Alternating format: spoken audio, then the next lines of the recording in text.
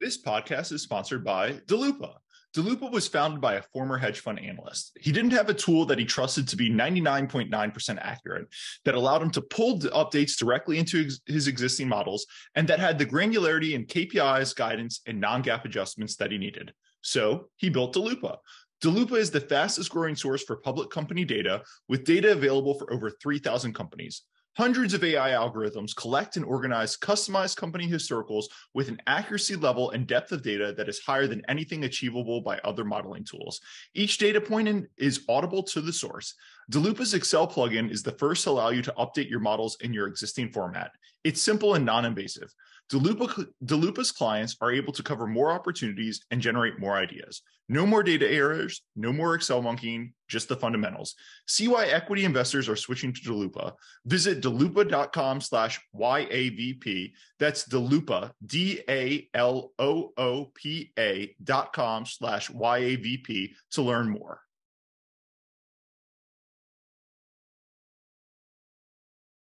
Hello and welcome to yet another Value Podcast. I'm your host, Andrew Walker. If you like this podcast, it'd mean a lot if you could follow, rate, subscribe, review it wherever you're watching or listening to me to it.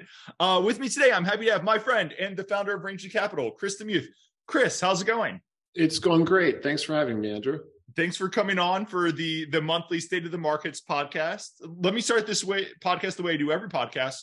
First, a disclaimer to remind everyone that nothing on this podcast is investing advice that's always true, but that's particularly true today. We're going to talk about a bunch of different stocks and situations. We were talking before this uh, call, and I think we went through, you know, a hundred million micro micro cap company, five hundred million dollar meme stocks in distress, all sorts of things. So we're going to talk about a lot of stuff. Just remember, none of this is investing advice. Please do your own research. Consult a financial advisor. Uh, with all that out the way, it is G- late January, January twenty sixth, two thousand twenty three. We've got a new year Chris, what's on your mind for the new year? Well, I think uh, going a little farther afield within the event category than usual, because the two big um, kind of stuck between a rock and the hard place problems in the ARB world for me are still very much in place.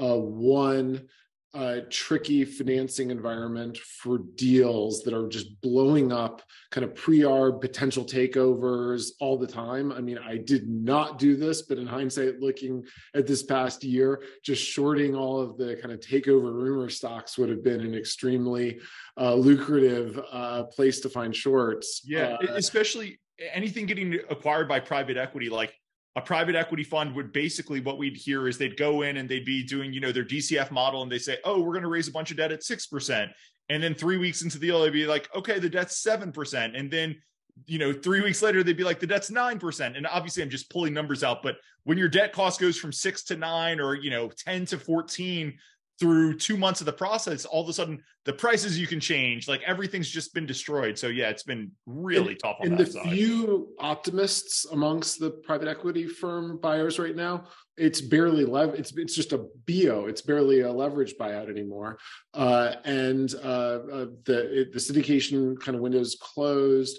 Uh, something that you know might have been an example of me missing the uh, uh, missing the forest staring at a tree was thinking about Twitter the whole time, thinking about that as an investment in the contract almost daily downgrading what the downside was and what it was worth as a standalone and what the incentive for the buyer was other than the contract. It was such an intoxicating topic that i don't think i pulled back enough to say think about all the other ones that have no contract because that's what pre-arb and takeover rumors are. It's this without a requirement. And they pretty much all went bust or had modest uh, takeover premiums and so forth. All those dynamics are still there. So i'm still grouchy and bearish on takeover rumors. I don't mind if we miss a few early on this year. Like if we can get smarter about what environment we're in and miss I mean, I'll probably be cranky the day we miss them, but like, you know, the kind of well um, projected deals, unless it just happens to be a company that we just really want to own anyways. And I haven't seen one of those. Um, I'm going to be pretty shy on takeover uh, candidates. And then the other uh, the, between a rock and a hard place, uh, a hard place is uh, zany regulators that are on uh, kind of uh, crusades against companies and deals, just trying to block everything, and just brutally difficult regulatory processes. And then two things today, uh, just to highlight as examples.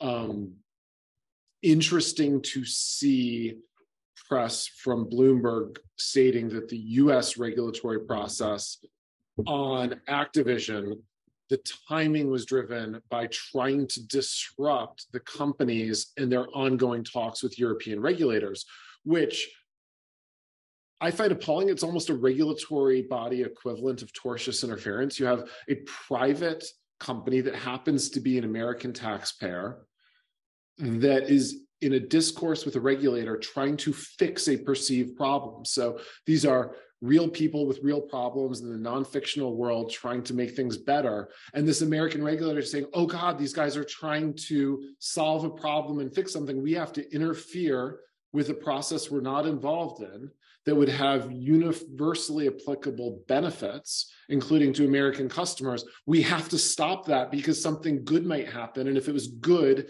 it would make them look less bad. And so we would have less power over them. I mean, it's really uh, gross, uh, vulgar, low behavior that if this was a private enterprise, that would be criminal and should be. You know, it reminds you, it, it just, it, it just feels like a lot of regulators are living in their own world where companies are bad. And generally, I, I am probably a little more uh, uh, bullish on I don't know bullish sorry accepting of regulators than uh, you who lean a little more libertarian. But like I think of the the Shaw the Shaw hearing yesterday where the I mean you listen to more of it than me, but where the Canadian regulator is almost thrown out of court because he goes in and he basically says, "Hey, these guys have a fix but we don't like the fix. We didn't want them to fix this. We mm-hmm. wanted to we wanted to block this transaction. It's like well that's not really your job. Like your job as a regulator was fine the original transaction would be harmful for consumers under your standard. Block it get them to amend it get but now that they have a remedy and it's fine you know like it's no longer your job to go and say like oh no you know we just didn't like this deal to begin with. Now that they've got a remedy to fix the consumers we're just we're angry they have a remedy? Like that doesn't make sense. Or i think of uh, one ongoing that we've talked on this podcast before. I mean i don't think we're there yet but spectrum brands where uh, we're not quite to the regulators saying oh gosh they're they're going to get a deal through that we didn't like to begin with so screw this. But we're getting close where spectrum brands they have a merger uh, they're selling their high-end door division. They've got divestitures for everything that the government has a problem, and they're going to the court because the government's trying to block them and saying, "Hey, we've got a divestiture to fix the problem. And the government's basically saying, no, no, no, no, no, we don't care about divestiture. Just block this deal. Like, it's just, it's very, it, yeah, I don't, I don't even know. Those, those, are both terrific examples. I listened to the whole hearing yesterday morning in uh, Canada. Um, uh, my wife thought I was not being respectful enough of the uh, regulator and hopes that I'm not in front of the same guy ahead in uh, some future deal. Yeah, where I might not be allowed to go to Toronto or but, Ontario or but, anything. But Chris. good lord, this person was very clearly. I mean, he was shaking. He almost looked like he was crying because the thing he thought was a problem was going away, and he wanted something to hang them with. He wanted a problem to maintain his kind of petty authority he didn't want he was he was he was shaking to the point of almost crying that this problem would go away which totally reveals the whole game. Like he didn't you know there was nothing about like benefiting the consumer or anything about the non yeah, it was just point of the law. It was just i am a regulator. As a regulator i can block deals. Big companies emerging. I want to block deal. And it's like no that, that's not at no point is that it just reminds me, you know, all the stereotypes of bad policemen or something mm-hmm. who they've got it, they've got a badge and the gun, they're going to let everyone know it. The regulators in this case have a badge and a gun over big companies, and they're going to let everyone know it, whether what the big companies are doing are good, bad, whatever. I, I loved the interaction between the uh, competition commission lawyer and the appellate judges. The appellate judges, I thought, were handled the whole thing very well. But he had this point that he thought was incredibly fascinating that they just could not fathom what he cared about, which was um, he got that the authorities approved the deal. And he got that they approved the deal that would happen and the only deal that would happen and the fix that would happen and the buyer of the fix and the price. They approved the thing that would happen, but he just thought it was just of utmost urgency that they go back and opine specifically on the deal that's not going to happen, that nobody's trying to do, the unfixed deal. And this was, I mean, it seemed to him to be like the m- most awful imaginable thing that this hypothetical thing that would not happen did not have a formal part of the process. And these judges were just trying to understand what his point was. Um, and uh, uh, a, a good friend of mine who never agrees with me on public policy arguments. Whenever I get shrill on a procedural point, he said, just to save us time, why don't we only discuss procedural points when they're against substantive interests? Because he points out, like, we almost never have something where I'm railing about some procedural point that wouldn't serve some end that I also substantively believed in. Like, it's like never. And he's like, if we have anything really good to say about how we need to improve procedure, let's just mention it when it would hurt our substantive point we're trying to make. And that would like remove pretty much 100%. Like it, it, he just hated the deal. He hated the companies. He wanted to hurt them. And so he had this thing. But the judges who didn't care and who never heard about this stuff before, they're like, why are we even talking about this? We're yeah. talking about. And just to just to sum up, in sure. case listeners haven't been following this Canadian court case, what what he's doing is he's going to, if I remember correctly, Shaw and Rogers had an original divestiture plan that did not pass muster. Uh, it was going to get rejected, so they went and found a divestiture ch- plan that did pass muster. And basically, the regulator here was saying, "Hey, judge, I still need you to go back. You know, it's like if if I turned in a final paper and the professor came back and failed me because she went and found my my first draft and said, "Oh, Andrew, this first draft wrong wrong on every single point." I was like, yeah, but my final draft right. was right. Why am I getting dragged on this first draft, which you know shouldn't really see the light of day? Nobody should have cared about any of that type of stuff. Yeah, or you're just kind of annoyed. You can imagine a parent uh, who you know they're you know you you have a whole lecture prepared for them about missing curfew, and they make it at the last minute. It's like, yeah. well, like in theory, you're trying to substantively help something for the greater good, and that thing was done you should be happy but you're kind of like you had this you had your speech already um, and so i think spectrum's actually it seems so far to be in the same category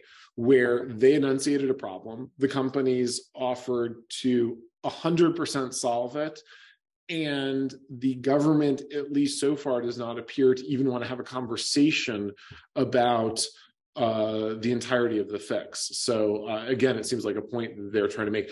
But in terms of thinking about arbitrage and deal risk, I still am close to 10 out of 10 at the moment of my concerns on both the regulatory side and the credit side. So I'm being uh, fairly cowardly uh, or just want to really get paid well for either of those risks, which means uh, you know I like wide spreads. And one reason why I like wide spreads just analytically is it's a big target where you have lots of ways to win. You know, you get recut and you win, and you get a big delay and you win. And if it's supposed to be, you know, the upside is an IRR that's 100% or 80%, and it takes twice as long as you think it's gonna, you win. Tight spreads are small targets, and you kind of have to be right about everything, or it's a stupid investment. And so really wide spreads that already price in kind of deal break probability on something where you won't mind owning it anyways, where you think it's an analytical downside and where it's already priced for regulatory aggression. So, you know, we're getting there on Activision, you know, we already have a complaint filed. And I think things get more um, more objective when you get in front of a judge. I mean, it's not exactly the same, but I think that uh, if you uh, if you use uh, the value investing analogy of Buffett's uh, kind of uh, short-term voting machine, long-term weighing machine, the regulators or these regulators at least are a voting machine, and the judges for the most part are weighing machines. Yeah, no, I, look, I, I, completely agree with you. Know, just on Activision, I, we've we've discussed it ad nauseum on this podcast, but yeah. you know, it's funny. We've probably been discussing it for I don't know six months at this mm-hmm. point. Mm-hmm. and when we started discussing it, the price was probably seventy five dollars per share, and now we're still discussing it, the price seventy five dollars per share. And you know, I think, look, I, I will say like the thing that vexes me, I think the thing I email you once a week on, uh, the thing that you're smarter on me, but I think we're both so unclear on is Activision needs to get approved by three people at this point. They need US regulators to approve it, and that's mainly the FTC. They need the EU regulators to approve it, and they need the UK CMA to approve mm-hmm. it. And like, I feel good. They can beat the FTC in court, even if the FTC is trying to tortuously interfere with other jurisdictions. I think they can come to a settlement with the EU. I the UK CMA, like I think they can, but I just don't. I don't know. Like as you said, voting machine versus uh, weighing machine if the voting machine of UK regulators doesn't approve this, I don't know how you get to the weighing machine step. So yeah. that's one. And then I'll let you say anything you want there, and then I'll we can talk about like kind of the fundamental value as well. Sure. Um, I think were I working on this for Microsoft, first of all, I decided if I really wanted to do the deal at this point, and see how much you really wanted to try. I think they are trying. I think there'd be good precedent for getting this deal done. I think they want to buy the company. Um, I would. I sometimes think of my strategy in certain things as a my stupid phrase for it is reverse triage, where you basically have all this complexity interaction. Like, can you just get the easy stuff done first? Uh, which not out of intellectual laziness, but out of by the time you get to the really hard stuff, then you have fewer things to worry about. I would focus on the EU first and settle with the EU and settle with the EU on terms that show how you interact with them, how your uh, how your um, fixed with luck, and of course, settling with the EU is really settling with large complaining competitors. Uh, get them on board with an EU settlement, uh, and then market that to the CMA and then market that in the US to the ALJ uh, and uh, settle in the US last. And ideal, and so so that would be my order of operations. And I also would be looking for sneaking in as much as possible because this is going to be a big, expensive, complex process and a big settlement. Uh, I would work on sneaking in as much uh, malice for my competitors as possible. If there's going to be this big settlement that restructures the industry, uh, uh, the best thing that's been written about this recently was this wonderful piece that basically went through all of the iterations this industry's had going back over the last few decades. And any big antitrust settlement would have frozen that permutation of the industry that's just in constant tumult. Who's on top, who's on bottom, how these companies are structured. They've put these together and ripped them apart a dozen times as the market has evolved. It's a it's an incredibly competitive dynamic market and uh, the government would just freeze it at one moment arbitrarily uh, and then that's how it would be 100 years from now uh, for something that has nothing to do with technology nothing to do with helping customers just has to do with the government wanting to make sure it looks like it's in charge. Uh, but in this case it could really use that against um, uh, some of the complainers and some of the competitors and really put microsoft in terms of how things are done in the relationship between consoles, games, content, and platforms, they could make sure that if we're going to freeze everything, uh, I think that Microsoft lawyers could do an incredibly good job freezing themselves on top. Um, yeah. So they could actually win on this deal in a number of ways. It makes it. I mean, I would be pretty surprised if you could do a legal settlement now that froze the video game industry for, in its current structure for a hundred years. But I, I, do hear what you're saying. Uh, but no, and, and then just the other thing on Activision, you know, I I have so many people, and it's generally journalists who reach out to me on this versus mm-hmm. kind of experts, but they'll reach out and they'll be like, "Hey, Activision Blizzard." You know, I, I think it's a heads I win, tails I win more situation where, you know, the deal goes through, I'm buying at 75, and I think uh, it's, you know, you get over 90 from the Microsoft payment. And then they'll say, well, if the deal doesn't go through, like the simple math is Activision will get two and a half or three billion dollars from Microsoft. They'll have a ton of cash on their balance sheet. I think they can earn four dollars per share this year. Four times 20 gets me to an $80 stock price plus the cash on their balance sheet. And they're like, fundamental value, I win. Uh, uh deal goes through, I win. Like, what's the risk here? And I kind of just look at them like, event investors will remember NXPI, and NXPI had the exact same thing when they were getting bought and uh, the chinese authorities blocked that deal from qualcomm and you know the stock was 130 and everybody said oh if this doesn't go through it's going to 150 if it does go through it's 135 we're getting it. And guess what? The deal broke and nxpi three months later was trading like 70 or 80 per mm-hmm. share and it didn't touch it's higher now but this was 2018 or so. It didn't touch 100 per share again until you know like mid 2020 late 2020 or something. I look at activision i'm like hey, you know, companies under M&A, they tend to kind of freeze. Yes, it seems to be performing well now, but it's a video game company. Like, go look at Take Two, go look at Ubisoft, go look at these guys. Like, video game earnings can disappear in a hurry. And yeah, I'm just I'm a little scared everywhere just because it's such a po- it's such a popular deal. It's the biggest merger arbitrage out there. Like everyone's looking at it. I'm I'm just a little hesitant on it. Yeah, I mean the the market generally has been strong this year, but just looking back over the last year, I think there's been an almost perfect record of it's already priced in not being correct in bear markets. And maybe it's just defining terms, maybe it's just tautology, but that in weak markets, something bad happens, the deal gets blocked, they want to get done, it trades down.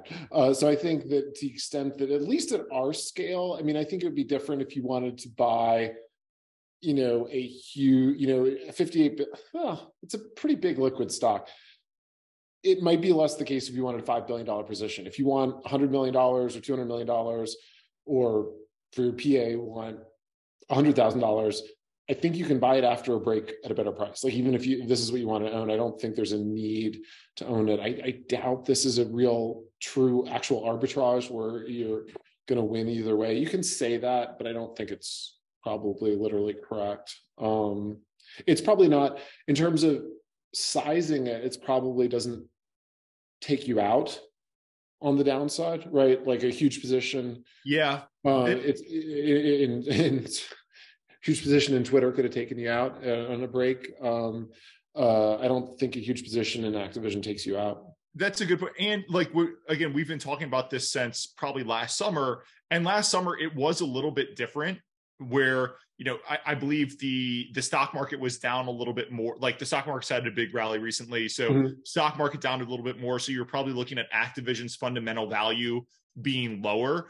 Mm-hmm. and um and activision was not performing as well right? Like the the new call of duty which i believe has been a huge hit hadn't come out. There were lots of questions around blizzard. They were having all these issues. So like probably the fundamental performance and the multiples gotten better since then. So it's mm-hmm. a good point. Like you can run it to much let much better downside today than you could uh, a couple years ago. Anyway, I, I, guess that's it on Activision. What else has been on your mind?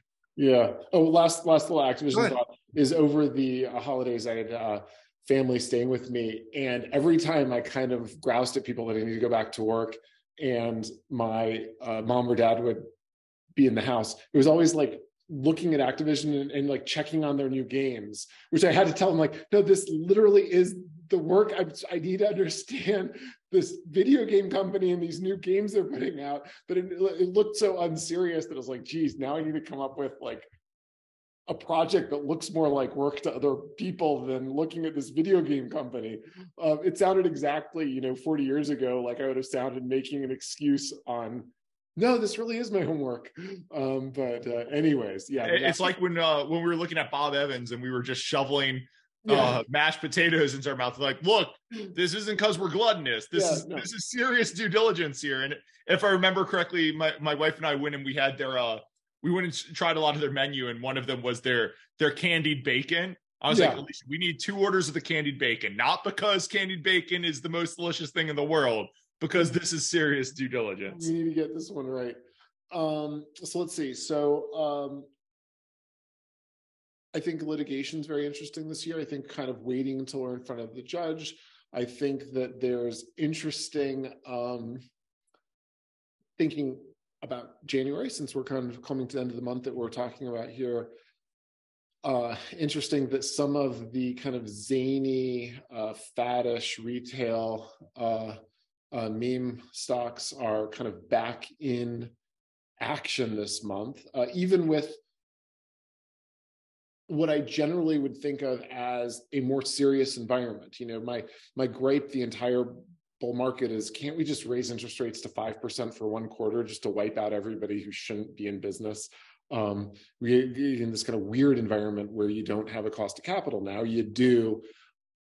I would have thought to some extent things would just get kind of monotonically more serious but some of the zany stuff's kind of coming back um, uh, between you know, amc and and uh, uh, Bed Bath and Beyond, and and uh, some of the names that were kind of super hot, you know, uh, over the last few years, kind of ha- having kind of kicking around a little bit this month. Uh, Tesla it's, doing well. Yeah, it's been so. A, my favorite meme for the past nine months has been every time another meme stock does some type of squeeze, uh, it, you, somebody will post the the meme of Jerome Powell being like, "Oh, I've got if you guys keep doing this, I'm going to raise interest rates yeah. by another 50 basis points or something. That's that's been my favorite meme. But yeah, it's been really weird this week. You know, you've you've seen the return of not this re, this this month. You've seen the return of meme stocks. Uh oh, here we go. A, as you and I are talking, uh, Bed Bath and Beyond, which is one that you and I were talking about. Like literally, as we're recording this podcast, they got a default notice from J.P. Morgan, and the stock's going crazy. But you know, Bed Bath and Beyond is the perfect one. Before we started recording this podcast, Bed Bath and Beyond had a stock price of 350 per share, let's call it, right? And that gave it a market cap of 400 million, which is not huge, but you could go look at the debt. The debt was trading for literally pennies on the dollar. You know, like it was not trading 80% of par where maybe there's some ups. It was trading 6% of par, right? When debt trades that low, there is no equity recovery for a bankruptcy. There mm-hmm. were there were all these reports about uh they're getting ready to file for bankruptcy and nobody would give them a debtor in possession loan, right? If you can't get a debtor in possession loan in bankruptcy, like forget unsecured bonds, forget equity, like people are questioning if your business can like every dollar that goes in they think it's going to get lit on fire because debtor in possession loans are some of the best loans generally yeah. you can make. Like and this stock, again, I understand it's only a couple hundred million market cap. It's getting squeezed around like crazy, but it's just really weird. And the so that anyway, that one uh, was weird, but I understand like there's no borrow, all this type of stuff. The the one that really jumps out to me is AMC Ape, which I know you and I've talked about. You've written up a little bit. Like, mm-hmm. look, AMC Ape are and anyone who wants to talk about this, like I've read the contract. I'd love to hear anybody who's got actual other thoughts if you've read the contract and stuff. I don't want to hear AMC to the moon, but like AMC stock is trading for 550 per share. Ape is trading for $1.70 per share. They're under contract to collapse those two securities. And I think it's going to happen in the next 60 days. Maybe it's the next 100 days, but those two securities are going to collapse. And, you know, you rarely, you can buy two apes for less than one, one AMC right now. And those two securities are going to collapse, I think. So uh, they're under contract. They have every incentive in the world to do it. I keep looking at this again. I understand like there are borrow issues there. People are worried AMC is going to squeeze. But when you've got that big a spread, like I, I did a post late last month, you can use options to cover the difference and still make a really attractive return. I just keep looking at this and being like, what am I missing here? The prices can't all be right. I mean, we know there's a par- we know there's a paradox. Um, and we know the less expensive side of it. And what we don't know is how the more expensive side of it behaves. And it's hard to do just stock for stock ratio in a way that, that uh, is is particularly attractive. So you have to use options or just do it unhedged or just say, look, I am going to stipulate part of my trade. I'm not going to justify part of my trade. Uh, I'm going to stipulate it. I'm going to say there are people out there who think this is worth a certain amount, demonstrably today think it's worth a certain amount. I am not one of those people, uh, but I'm going to just defer to them in the coming months that they are going to hold their view or within 50% of their view with 60 70% of their view. I mean is a it's a big fat tar- big spreads are big targets. Lots of crazy things can happen uh, and you can still make money um, just owning the cheap side of it uh, yeah. No um, look it's a good point because what you're saying is you can just because amc is so difficult to borrow if you want, you could just go buy ape and say, look, mm-hmm. AMC and ape are going to collapse. I'm just going to bet that the collapse is somewhere between where AMC and ape eh, trade right now. hopefully the collapse is not like well below. And you know, if you do that with smart sizing, I, I think it can work well. But my the the thing I struggle with there, and I do think it, it's fine because like AMC is so clearly popped up by these meme traders and. Mm-hmm. Eh, you know, like the bonds there, they're not Bed Bath and Beyond. They're not trading at six cents on the dollar, but they're close. You know, their bonds trade about 50 cents on the dollar. And I think the equity is fundamentally quite impaired. So, like, you're buying a security that looks worthless. But as you said, like, who are we to question the market? If the market says one's a dollar ninety, one's five, like why should the why should we say oh the value zero just because we think I, it's just tough they're not doing what you do badly they're doing something else if i was going to own a share of mgm and said oh my gosh what if everybody approached the slots with my view of what their rational behavior would be tomorrow then it would say okay then it's going to go to zero tomorrow um, but I don't think it's they're everybody's going to do what I think is rational for them tomorrow. I think they're going to keep kind of doing the same thing they're doing today. My and mom and grandma certainly aren't coming with that rational view. That's their favorite thing in the world. And so they're going to kind of so I'm going to simply stipulate what slot lovers are going to do with slots next month. I'm not going to demand that they instantly start agreeing with me on what's optimally rational. And that's my view of AMC stockholders. I don't think they're trying to do what I try to do, they're doing something else. And I don't have a reason to think that's going to change immediately. Um, at least, you know, it's harder if you give me a year or two. I just think it's going to be for a month or two, more or less the same. And with some shot if you said something crazy happens with amc in the next month or two i don't know it could also go up 10 times or something like you have all sorts of crazy things. I just don't see it being less risky or less volatile with a big hedge and the world of kind of hedge fund guys wanting to do a arithmetically correct hedge you know i'm always worried about the um you know the Volkswagen type scenario of just like something where like just own the cheap part of it and it might be less dangerous than what is mathematically more precise but in a world where something crazy can happen it might hurt you. And look like amc ape right? I remember when so amc had one share of stock just amc they could not they hit their statutory limit. They're they're literally uh their certificate of incorporation, they hit the limit on that, and their shareholders wouldn't approve more. So they issued APE as like a workaround. And I remember when APE came out, you know, APE and AMC economically are equivalent things. They only trade mm-hmm. different because of this that one loophole. When it came out, I remember AMC was at like eight and APE was at five. And I got so many emails that were like, short AMC, long APE, go to the beach. And mm-hmm. before mm-hmm. this collapse happened, AMC was seven and APE was about 60 cents. So if you had shorted AMC and gone to the beach, you were getting margin calls at the beach left and yeah. right because the AMC bar was crazy. But what I love about this is like, you know, A, you've got a the company's under contract to collapse these things. They've got all the economic incentives in the world to collapse these things. It's a massive spread. And, you know, if you, eh, eh, you know, nothing on here is financial advice, but if you're trying to play this by either just buying ape or using options cover, like you're also, I think the fundamental value is worthless. But if you got a meme squeeze and this collapse, like ape could go from two to 20 you know you know you never know. So you're giving yourself the upside exposure of something wildly different than what you and i think is going to happen happening there but and, it's just wild. And again i know these are meme stocks and everybody says oh it's a joke they're weird but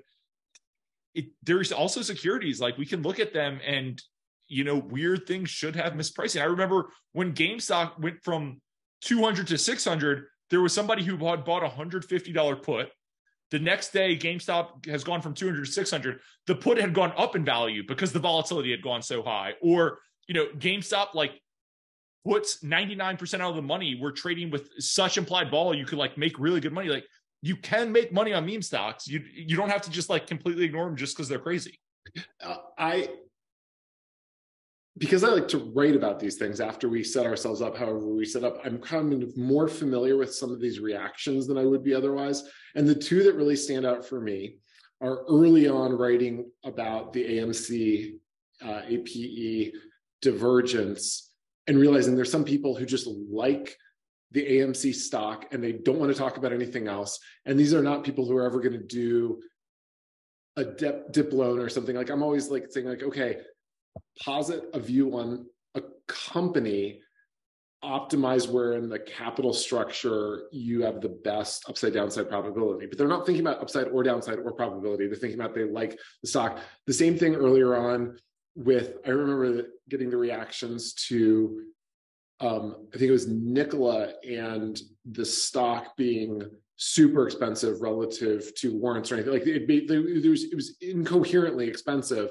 And i just got these reactions i was like speculation, just like any other equity, bro. Trust me, I understand the logic, but I made a ton with the stock already. And if it goes up or down, I'm okay with that. And that was like one of the, and you get like hundreds of reactions like that. And so you think, okay, they're not trying to do the same thing, but they exist. They they can move markets. They're in some of these things, and they've all crowded into. I mean, I don't think it's a huge part of the market overall, but they've crowded into these very few equities um, largely on uh, you know free trade mobile apps, and uh, and so I, I don't think they go away all at once. I mean, I think they kind of get squished with rising rates, but that at least in January, you wouldn't want to take massively outsized bets.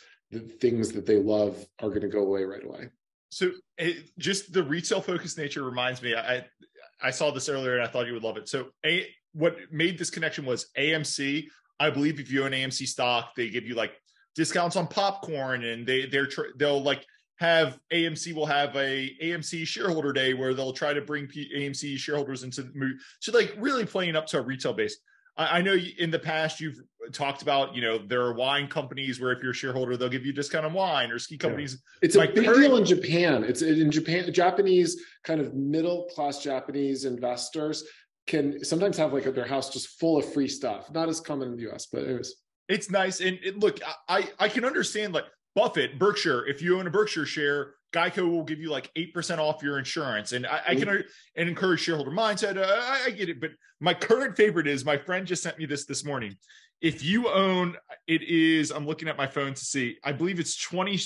If you own twenty shares of WeWork, uh, they will give you 50% off a WeWork All Access Plus membership for three months.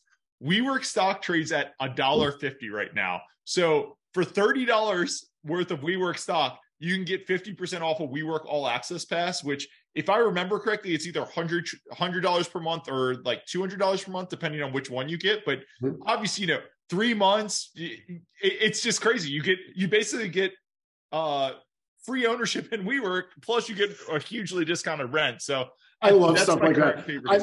Emotionally, I'm very scale agnostic to free stuff or bargains. You know, it's funny. It's like we all have some big position and it'll be like a significant upside. And, you know, like free little things, like I'll maybe be less happy, but I'll be like half as happy about it, even if it's like a millionth as big a deal. Um, well, you, you do have to get the the WeWork membership, which obviously you're eventually you'll be out. But if if you want a WeWork membership, anyone who's listening, that's the uh that's the trade for you. Go. It, it's not it's not a bad one. I, I, just randomly waved. My daughter walked by the window, and I've never had somebody walk by while we were recording before, so that was why I just like looked looked up surprised.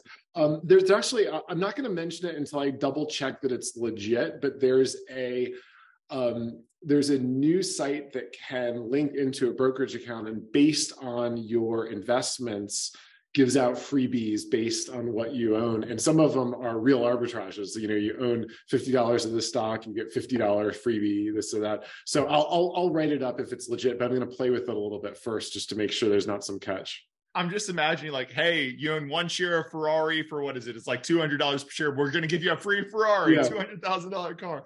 Uh, anything else you wanted to talk about? Ferrari actually does have freebies, and by which I mean, well, we can, you know, they they do give uh, uh, cars to their best clients that are at big discounts to the market price. So that's that's an interesting one, but that's an expensive game to get to get into. Um, my, uh, my one bedroom New York apartment with uh, I, I, don't think we're getting into the Ferrari game anytime soon. No, no, uh, but. Uh, anyways, what other things? I just want to check, uh, see if anybody asked yeah, questions thing, that we can peel peel off. I'll just say while while you're looking through questions, the one thing that's kind of struck me as interesting is when we started doing these over the summer. You know, Nat gas was nine, mm-hmm. oil was 120. Those are spot prices, not futures prices. I fully acknowledge that. But you and I are doing this in January.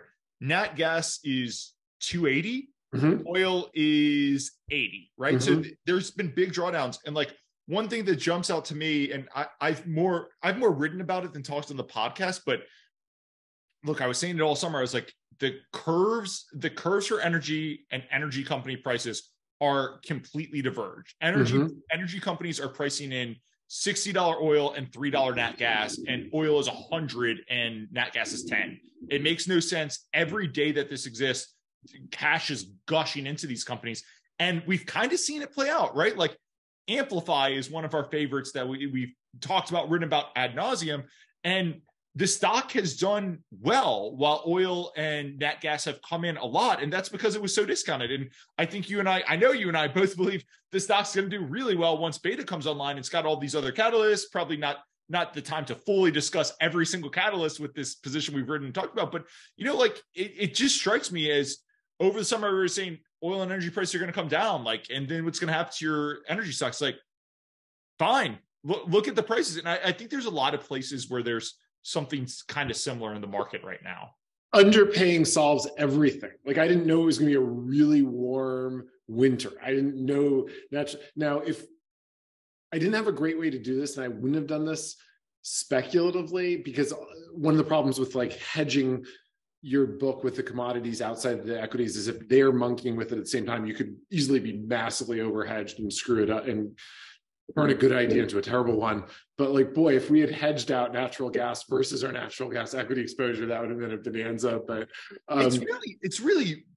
I mean, I know there are people who do it. I, I, think it takes a lot of money and a dedicated trader to, to hedge commodities is really hard because the commodities well, yeah. are always rolling. Like, you know, uh, nat gas in the winter when nat gas is really in demand is generally more expensive than nat gas in the fall. So which are you hedging? But it's just it's really tough. And you know, you expose yourself to, yeah, as you said, what happens if nat gas is short for one delivery cycle and nat gas goes from two to 20 on delivery? Yeah. Or, you know, oil is the most famous. You could have been long oil, short an energy company in 2020 saying these energy companies are pricing in the energy curve.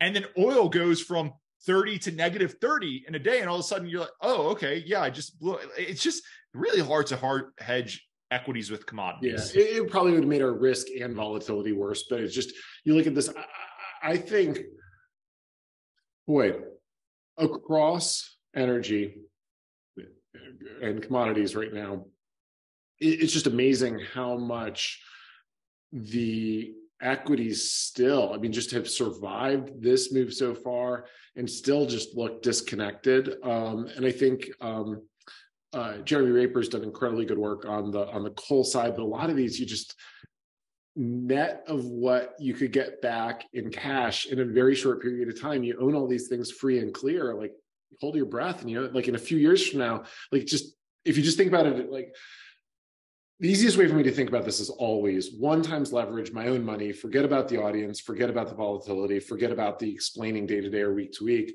and that's not our whole job. I mean, you know, if you have all the kind of short term issues you have to deal with in terms of pressure.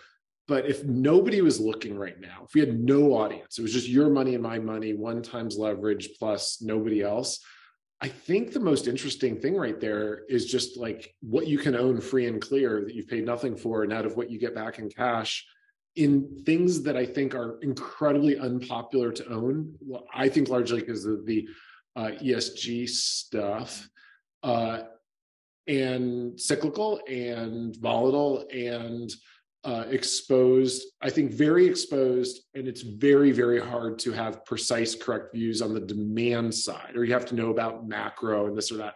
But on the supply side, it's quite it, analyzable. It, and it feels to me like across all commodities, not all commodities, but most commodities, it just feels to me, and I feel like a crazy like doom prepper, but it feels like the war, the world is short, like structurally short every type of commodity, you know, and or if it's not structurally short, the balance is hanging on a knife's edge. And if like, you know, if Freeport in in Texas blows up, actually that's not a great, but you know, it, it just feels like if one little kink gets thrown into the wrench and all these things go parabolic because the demand is so tight for them and you, you know like uh the, the supply is just so limited because these things their infrastructure basically it takes years and years to build them up and it just feels like we've underinvested so much and I, I feel like a doom prepper looking at all this stuff but i'm just like i feel like it, from a value investor thesis i'm like hey i'm paying 20% below the curve even after the curves come down a lot and by the way it seems like we're structured short these things so it seems like the curve has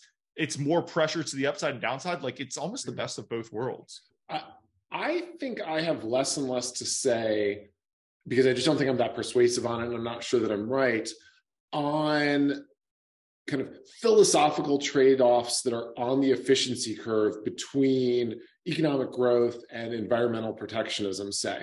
But I'm incredibly interested in and feel sort of bold about not philosophical differences, but about incoherence. So if the world says, we want an energy transition. We want green new energy. We want intermittent fuel. And we're going to not just rhetorically commit, but we're going to actually commit with our capital to something that may or may not be a good idea. I'll set aside whether it's a good or bad idea for 2050, but it is not available for 2024. But we're acting as if we just kind of are, uh, uh, are, are, are blocking our ears for what we're going to do with a multi-decade difference between our philosophical preferences and our day-to-day needs or year-to-year needs and we're just going to run into this in a few years and in some cases we're actually going to trade down on the environmental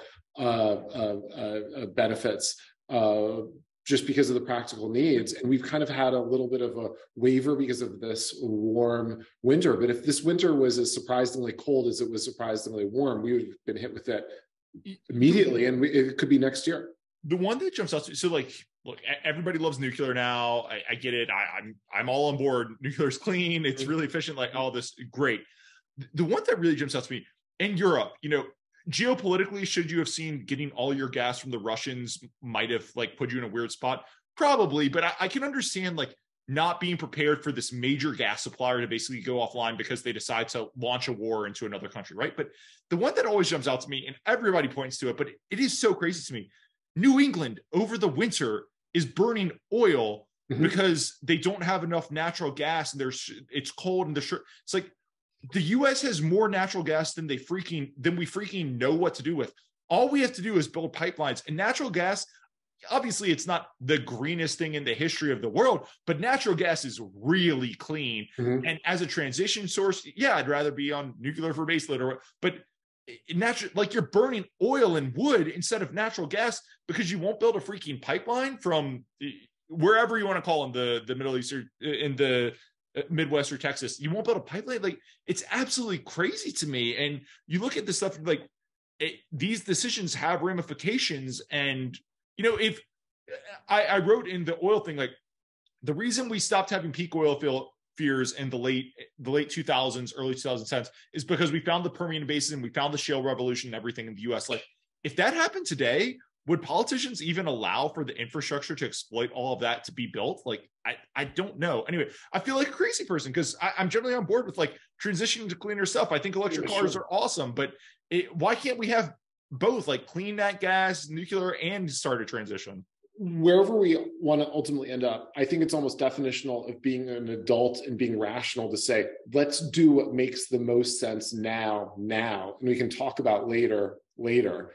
And I think that in some of these environmental conversations, it feels more like having a conversation with somebody else about their religion, where they're not trying to meet you with logic on a kind of secular footing of just upside downside probability. It's really, uh, I think it started with a philosophically uh, driven group that was very effective at um, convincing people in the government. And then they subsequently have gotten very good at convincing people in the investing community that it would be good for them as a business. And if you look at places like BlackRock, some of the most strident environmentalists now are massive capital allocators. Um, they're a lot less strident about it when they are investing in China uh, where they don't have the same uh, influence, even where there's a lot that's dirtier. I mean, trying to solve these problems globally, you just walk into this buzz saw of if you can't control China, it's almost it's very fraught at getting it better just in the developed Western world. Um, but the ESG stuff has been really good biz. I mean, you look at even just the marketing, it has been really effective. And so once you have the capital allocators and the government and the philosophical environmental movement, it's just been incredibly effective. And my concern, I mean, I have a lot of concerns, but the concern that I think is the one that we can express as an investment uh, is that there's just this difference between the practical needs and the kind of hopes and the identity that people want to associate with in terms of where they'd put their money. And so you just have these underinvested needs. And then and then you get these just crazy situations where they're saying you know the price is too high so we need to crush supply. Okay. I, um it's crazy yeah it's been wild anyway I mean, I, sure people wanted to hear us go on a rant about sorry uh, about that energy energy supply uh, we, we've been going almost an hour. Anything else you wanted to talk about, or should uh, anything else you want to get out before we talk? No, I think I think I think uh, I liked our energy rant. Um, I think that that's um, pretty good. Thank you for having me on. I've liked our energy rant too because it's it's also been a profitable one too. But uh, no, it, it's just crazy. Thanks for coming on, Chris. Uh, looking forward to seeing you, New Canaan, next week. Looking forward to chatting awesome. on the podcast next month, and we will uh, talk then. Talk to you then.